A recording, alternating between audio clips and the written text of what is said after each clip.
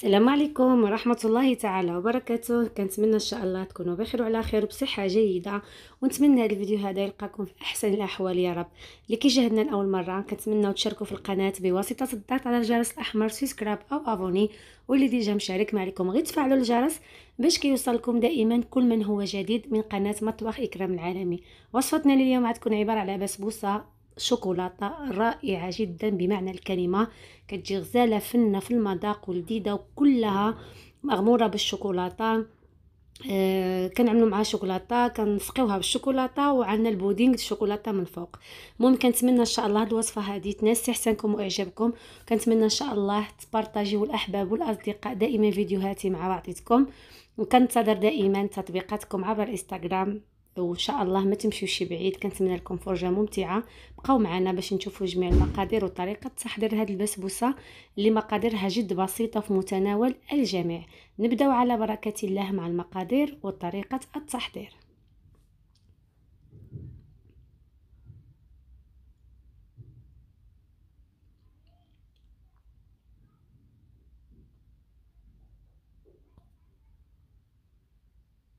بسم الله على بركة الله. بالنسبة للمقادير غنحتاج هنا ثلاثة الحبات من البيض بدرجة حرارة المطبخ كأس عنبة من السكر واحد الياغورت يعني ما يعادل ثلث كأس عنبة ياغورت طبيعي مسوس دانون مسوس نصف كأس من الزيت النباتية ونص كأس من الكاكاو مور وعندي كاس ونصف من السميدة الرقيقة اللي كنعملوها في الحرشة والبغرير نص كأس من السكر الدقيق الأبيض خميرة الحلويات فيها 15 غرام. عندنا هنا سكر فاني أو لا فاني بودغ أو لا فاني سائله اللي متوفر عندكم.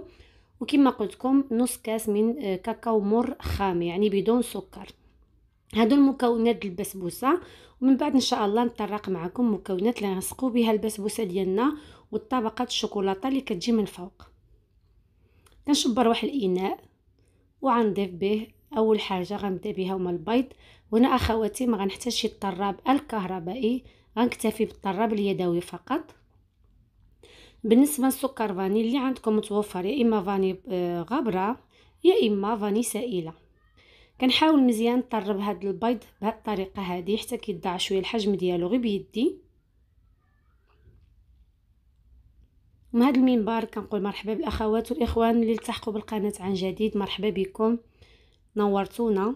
بالنسبة للأكواب المعيارية أنا عملت هادو هما البلاستيك اللي كيكون مكتوب فيهم مثلا كوب واحد نص كوب ثلث كوب إلى غير ذلك ولكن نفس القياس بكأس العنبة. يعني ماشي ضروري تكونوا متقيدين بنفس الكؤوس اللي عندي. كأس العنبة كافي. غتعملوا المقادير اللي غنخليها لكم مذكورة في صندوق الوصف إن شاء الله. غنضيف هنا نصف كأس من الزيت. وصراحه كتجي غزاله هاد البسبوسات آه شفتوني عطيتها حقها في التقديم. كتجي ولا أروع مفزقة وفتية من داخل وطعم الشوكولاتة الهائل الخام. لعشاق الشوكولاتة كنت ننصحكم تجربوها وما غتندموش عليها. ضفت هنا الياغورت وكنواصل التطريب. من بعد ضفت كأس ونص من السميدة الرقيقة ونص كأس من الدقيق ونص كأس من آه، كاكاو المر الخام اللي كيكون دائما غير محلى. وضفت الخميرات الحلويات وغنواصل التطريب بهذه الطريقة هذه كما كتلاحظوا معايا. وطبعا في هذه الأثناء عندنا الفرن مسخن على درجة الحرارة 180 من تحت ومن فوق. كنرجع نطرب مزيان مزيان حتى كد ندمج لي العناصر مع بعضيتها وكنحصلوا على واحد الخليط متجانس ما كتكونش عندنا في ديك التكتلات صافي دغيا كتوجد معنا دابا غنجيب القالب اللي غندخلو الفران اللي القطر ديالو. أربعين على خمسة وعشرين سنتيم أو أربعين على عشرين سنتيم. اللي متوفر عندكم ولا ثلاثين على على عشرين؟ مستطيل بهاد الطريقة هذه بايركس اولا اذا بغيتو تعملوها مدورة كيبقى الاختيار ليكم. ضروري كندهنوها بالزبدة مزيان بهذا الشكل هذا. هنا ماشي ضروري نعملوا لا السميدة من تحت اولا نرشوها بالسميده فندهنوها بالزبدة كافية. كنكب الخليط ديالي بهذه الطريقة كما كتلاحظوا معايا. أنا كنكب الخليط وسبحان الله الرائحة غزالة الشوكولاتة طالعة منه لأن داك الشوكولات اللي كنعملو بودرة كيكون خام كيكون نوعية جيدة وكيعطينا واحد المذاق قوي جدا في الكيكات ديالنا وفي الحلويات. دابا غندخلها الفران على درجه حراره 180 نص ساعة تقريبا غير من تحت ومن بعد واحد خمسة دقائق حتى 8 دقائق من فوق. بعد آه، ما جازتنا المدة الزمنية اللي ذكرت وهي سخونة كنخرجوها مباشرة كنعملوا عليها هاد الشبيكة هادي. ودابا غنشارك معكم الخليط اللي إن شاء الله غنعدلو معكم باش نسقيو هاد البسبوسه ديالنا. هنا ما غنسقيها لا بالسيرو ولا بالحليب نسلي المحلى ولا حتى حاجة.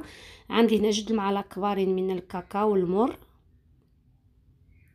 يعني كنعاود نقول المر غير محلى بالنسبة للأخوات اللي ما كيعجبهمش السكر ولا يقولوا الإكرام كيجي كتجي حلوة بالعكس ما جاتش حلوة مرة. ضفت هنايا تقريبا واحد جوج معالق كبارين ونصف من السكر تقدروا تعملوا حتى كاس السكر. ولكن أنا قللت الحلاوة عملت غير جوج معالق كبارين ونص.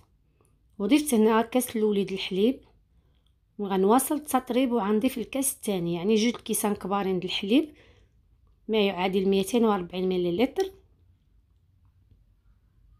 وجوج معالق كبارين من بودره الكاكاو وجوج معالق ونص من السكر.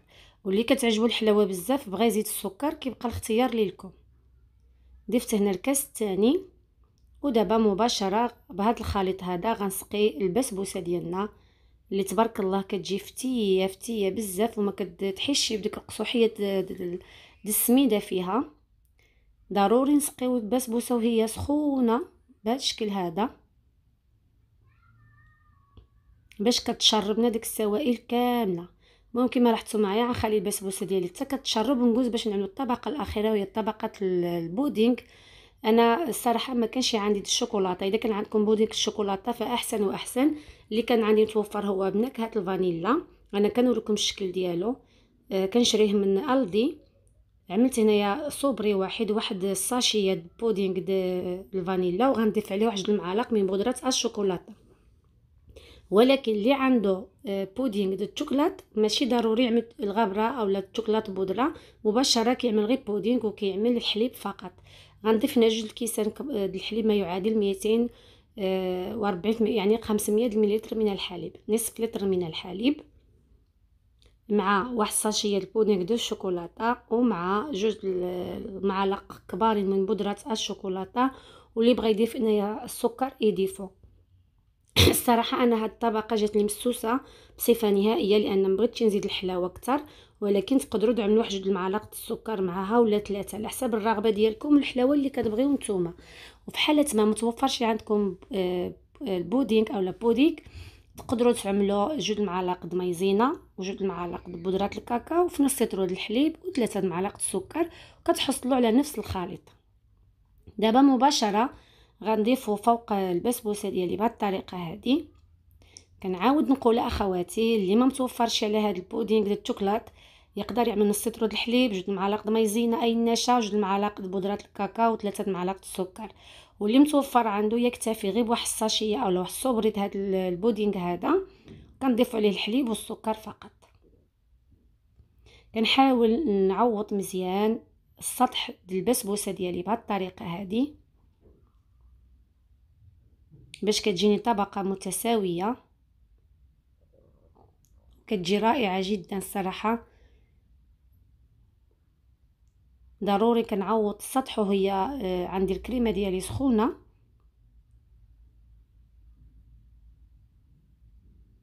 وصافي أخواتي دابا غنخليها تبرد بصفة نهائية تقريبا واحد ثلاثة ساعات على خطر خطره حتى كتبرد إن شاء الله عاد غندوز التقديم ديالها والشكل النهائي والتزيين ديالها النهائي اللي دائما كيبقى اختياري.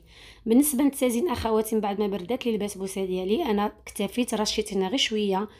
كاكاو مر بودرة بهذه الطريقة هذه تقدروا تزينوها بالجوز الهند أي بال coco.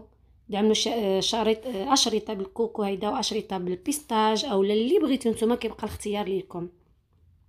أنا اكتفيت غير بهاد بودرة الكاكاو من فوق بهاد الطريقة هذه ومن بعد غنضيف هنايا شوية ال pistache من فوق بهذا الشكل هذا كما كتلاحظوا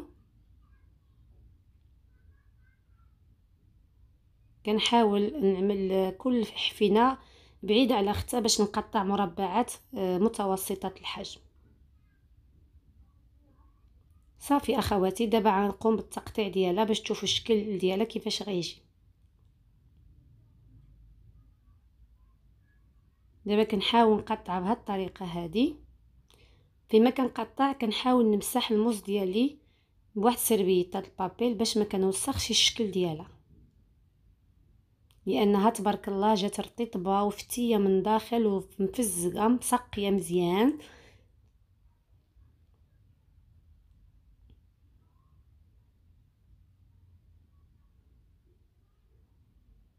غنقطع على شكل مربعات وتبارك الله كمية وفيرة لأن عملنا الصينيه كبيرة. فقط بثلاثة البيضات وعكس ونصف من السميدة وتوصل على النبي شحال كتخرجنا. هذا هو الشكل النهائي أخواتي إخواني. البسبوسه ديالنا الشوكولاتة بسبوسه رائعة جدا لذيذة. والصراحة في المتناول الجميع وأنتم كتلاحظوا كيف كيجي القوام ديالها. من الداخل كتجي طبقة من البسبوسة وطبقة من الكريمة وكتجي مفزقه من الداخل آه روعة. ما تشبعوش منها كنتمنى إن شاء الله طبقوها ودائما كنتظر تطبيقاتكم عبر الإنستغرام أطباق إكرام. قبل ما نختم ضروري ما نقطع معكم باش تشوفوا القوام ديالها. أكيد كتبان لكم بأنها مفزقة وماشي يابسة ولذيذة وديك الطبقة ديال كريمة الشوكولاتة من الفوق يا سلام. شكرا لكم على حسن المتابعة. أحبكم في الله. تهلاو لي وانتظروني مع وصفات أخرى بإذن الرحمن.